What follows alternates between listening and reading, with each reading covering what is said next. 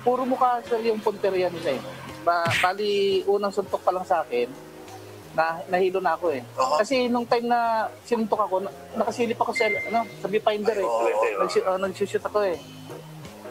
At Del, mga bata to. Mga bata po, Oo. mga 21 at saka 26 years old yata itong Ah, kanilang squad. Mukha ba sila nagra-rugby? Ay, sa unang tingin pa lang. tayo, pamilyar na tayo sa mga... yung, yung mga tato tsaka mga kulibok. Okay, Del, sa isang report, sinasabi na nasaktan mo daw isa sa kanila. Yun nga po yung ano, yun nga po yung question ko. Actually nagkausap kami kanina sa presinto. Okay. Kaya, inalam ko sa kanya kasi ganito po yung nangyari. eh. Bali, yun nga, may utos nga yung opisina na marami daw naliligo doon sa isang resort. So, papunta na kami doon. Ah, tumawag ako sa isang staff ng Caloocan, yung sa DPSDM natin, para i-verify. O sinabi naman na, totoo, sabi niya, marami niyang naliligo ngayon. Yung sa gubat sa syudad. Siya, yung mismo kausap ko ang nabanggit. Oo. Tapos sabi niya, pero nandun na yung BPLO natin. Sabi niya, o sige sir, pwede ba interviewan ka namin pagkatapos namin mag Hindi, habulin niyo na yon. Baka sakali pag inabutan niyo, ma-interview niyo na sila. So nag-proceed na kami dun sa lugar. Pagdating namin dun sir, nagulat kami sa nang sitwasyon kasi ang daming tao talaga.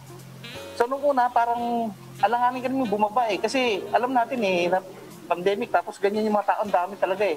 So advice ko dun sa assistant ko, sabi ko sa kanya, ah pre, mag-cellphone video ka para marami tayong anggulo na makuha. Kasi mabilis yung buhos ng tao. eh. Tama.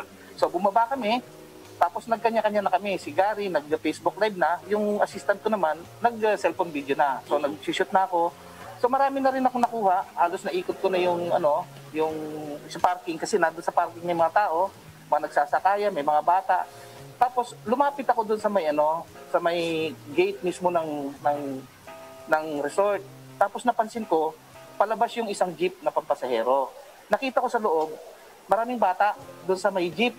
So sabi ko, teka, ito yung bawal eh. Itong mga batang tong bawal eh.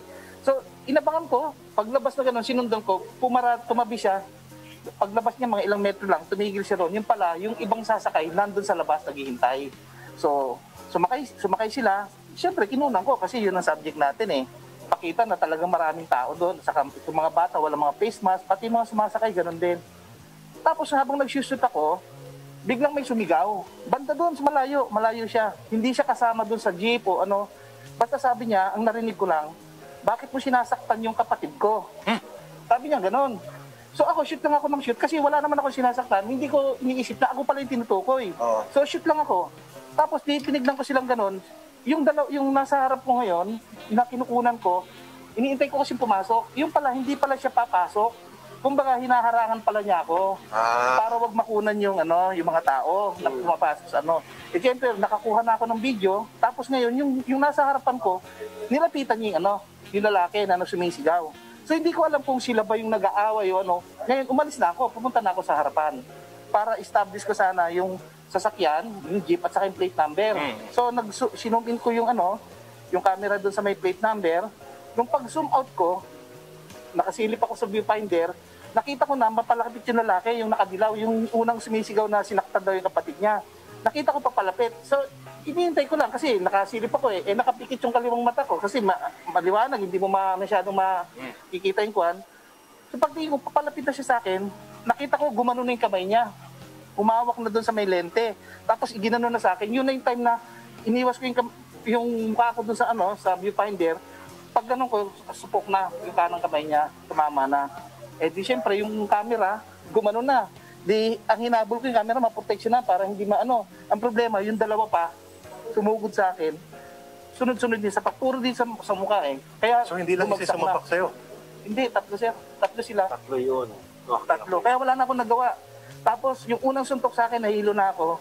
Hanggang sa yung maya-maya, nag, naglabo na yung tingin ko kasi nagkaroon na ng dugo, dumugo na, Oo. na, na dugo, nadugo na yung mata ko. Oo. Ayun, kaya naaninag ko sila pero hindi ko na ano, hindi ko na sila ma, makita pa kung anong ko. Pero bago pa bago pa nakasuntok ng pangalawa, yung dalawa, naman. nakila, nakilala ko, nakilala ko sila eh. Walang basihan talaga yung nasaktan yung kapatid niya. Wala, walang basihan. Ang ano eh, sa camera work, parang ang layo niya doon sa mga taong yun Walang eh. basihan yung, ano, Yeah, yeah, yung yeah. sinasabi na nung nasaktan. Kaya nga nung nandun sa presinto kanina, yung tinawag ko, sabi ko, halika, usap nga tayo, sabi ko gano'n. Sabi ko, ano ano ba yung sinasabi mo nasaktan? Paano ba kita sinaktan? Sabi ko, sumagot yung kapatid, yung nakadilaw, yung isa. Sabi niya, sir, inano mo eh. Ah, tabo, pinalo mo ng camera eh. Sabi ko, pinalo mo. ng camera. eh. Sabi ko, paano kung pinalo nga? At saka kung pinalo ko ng camera, bakit ikaw yung nag-react? Bakit hindi siya? Kasi kung siya yung malapit sa akin, hindi na kailangan yung ibang tao magre-react. Siya, siya ng yung tao na dapat. Ray, hindi ka taga ibang channel yun. Posible nangyari yun, pero baka hindi ikaw. Ay, opo. Posible kaya yun. Na ibang. Baka cameraman, nangyari sa kanya, channel. pero Ay, tayo ibang lang. cameraman. Tayo lang po ang nandun kasi. Ayun. Oo. Pari, pa- parang tayo yung nakarating lang doon na. Oo. Kaya kasi tip ito ng Philippine Star, eh, yung Opo. litrato eh. Sorry ah. Mm. Yung nakunan mo ba, mas marami pa dyan yung nakita mo. Mas marami pa po. Oo, mas marami pa. Oo. Sa Ang daming tao eh, no? Ang daming tao talaga. Marami sila. Siguro, siguro sir, kung tatantyahin ko ah, base ano, nasa 600 sila o ma- makaabot na 1,000 sila. Tapos sa sa isang jeep, uh, punuan yan. sa isang jeep, marami, tapos mga bata pa yung iba. Hmm. So Pag- talagang siksikan sila. Pag sa, sa jeep kasi, 8 hanggang 10 sa isang side eh. Opo. Ah, ano, puno yun o... Puno siya talaga. Apat-apat. Oo. Ano? Hindi, siksikan talaga sila. Siksikan. Kahit dyan sa video makikita natin yung siksikan sila. Tapos doon ko na, nung nag-preview na ako ng video, doon ko nakita yung parang meron silang sistema. Kung napapansin niyo yung video dyan, yung babae na nakadilaw, yan yung nanay na nakayapos sa akin. Oh, walang tigil ng yapos, nakaganon sa akin. Pero yung anak niya, yun ang sumusuntok ng sumusuntok. Oh, Ganon ang sistema. Tapos, yung parte na yan, nakuha na nila yung ano, yung tao, na isakay na ng mobile. Mm. Lumapit yung nanay doon sa may likod na ng mobile, tapos maya maya bumagsak, naghimatay. himatay ko nyari. Naghimatay. Tapos, napansin na lang, buti nakita, naka-live si Gary, nakita niya, dahan-dahan na bumba yung, yung suspect at tumakas na. Hinabol na lang uli ng mga polis natin. Ano ba plano mo, Ray? May, Arnel, sir. sorry, eh, may mga kakasuhan ka ba? Yeah. Apo, nagsampa na po kami. Kasi ibang report sa'yo doon, Ray ang pangalan mo eh. Opo.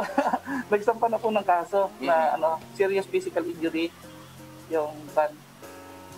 Anong depensa na nila? po. Anong binibigyan Wala, eh, tinatanong sila, actually, binigyan sila ng pagkakataon ng ano doon para magsalita. Ayaw naman nilang magsalita. Ang pero ang sinabi nila, base doon sa pulis natin, ang sinabi nila, pasensya na daw kasi nakainom sila. Ayun. Yun lang. At Oh, nag-celebrate lang sila ng Nagagawa talaga ng alak and Mother's. Day. Mother's Day. Mother's Day. Opo. Holy water na lang.